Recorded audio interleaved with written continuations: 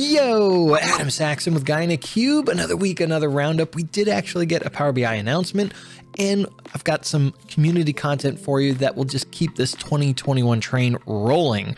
If you're finding us for the first time, be sure to hit that subscribe button to stay up to date with all the videos from both Patrick and myself. Enough of all this talking, let's get into the roundup. Mara over at datapears.com has got a blog post looking at how do you solve the problem of once my data flow is refreshed, how do I kick off an actual Power BI data set that's referencing that data flow? And the answer is Power Automate. And she walks through how to actually utilize Power Automate to accomplish this task. Now, this is utilizing the data flow connector as well as the Power BI dataset connectors to enable those refreshes as well as to trigger when one of them is complete. So we're using a data flow. In her case, she's going off of a SharePoint list. Once that's done, it will signal the flow to then kick off the Power BI dataset refresh, which is awesome. This has been a long-standing problem of, you know, how do we tie these things together? You could do it with some scheduled refresh and try and get the timing right, but it was never quite complete. Power Automate actually ties all of this together and allows you to accomplish that task. So very cool. If you're looking for more details on this or how to actually do it, check out the blog post links in the description below. One call out also is just be aware that uh, I'm not sure on the Power Automate side if there's additional licensing that may be required on that front. So just be aware of that and do your homework. Marco Russo's got a video, it's a longer form video looking at composite models. They're calling this the Unplugged series, which reminds me of Patrick's and my longer form videos called Unplugged as well, but this is much better. So he's actually taking a full hour and just walking through the new direct query over Power BI datasets, looking at how to actually think about bringing them together. This is the big thing. Everyone's asking for best practices, you know, what's performance going to look like? And some of this is not yet known because people are still playing with it and working with real live data.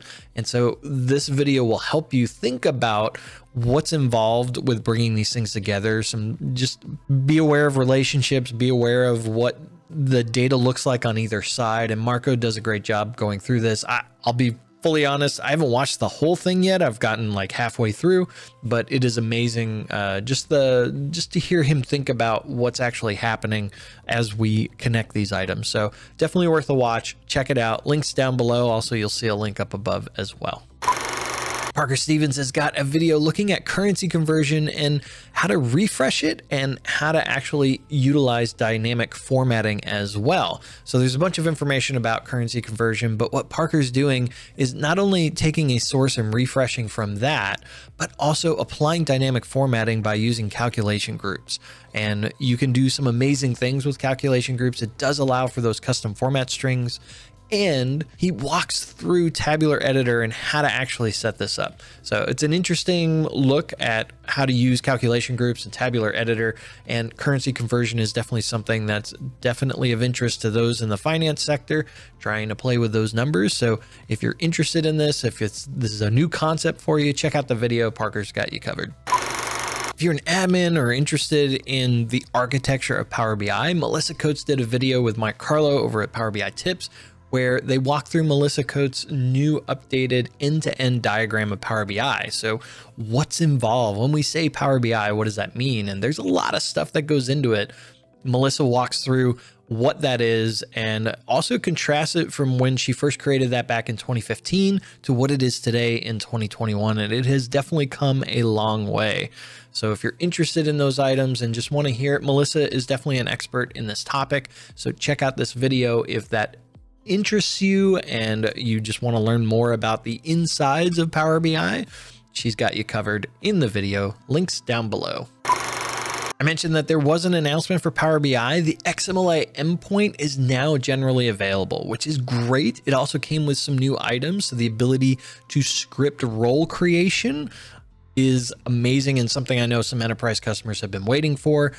This plays obviously to Power BI Premium as well as Premium per user, but the fact that it's generally available now, there may have been some customers that have been holding back just because it had that preview label on it.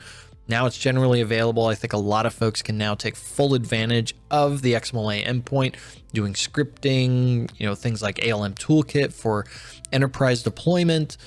All sorts of tools are now enabled by this feature. And even if you're using other BI products, they can be now powered by Power BI, which is always kind of funny and interesting to me. The XMLA endpoint just allows you to take it to the next level. And honestly, you know, thinking about like analysis services or that enterprise data model hosted now in Power BI, and you've got that connection string directly to the model, which is amazing. I'd love to know your thoughts on the XMLA endpoint, or if you were on the fence because it was preview and now it's GA, you're good to go. Let me know in the comments below. All right, I want to hand it over to you. What was your favorite item this last week? Maybe it was something I mentioned, maybe it was something I didn't. I don't know. Let me know in the comments below. I want to hear it. If you like this video, be sure to hit that big thumbs up button, smash it if you so desire. If it's your first time here, hit that subscribe button. And as always, from both Patrick and myself, thank you so much watching. Keep being awesome, and we'll see you in the next video.